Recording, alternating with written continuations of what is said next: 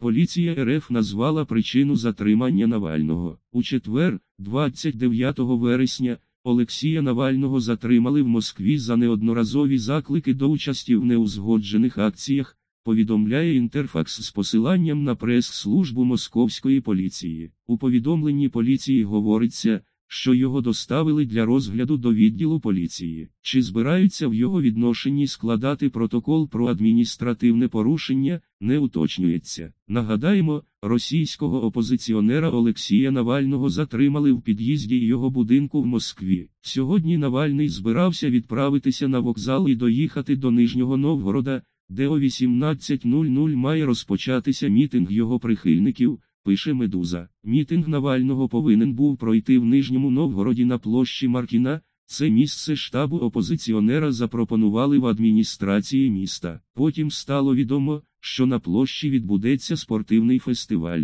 Навальний вважає, що він все одно може згідно із законом провести мітинг. За матеріалами сайту Newsgrakом.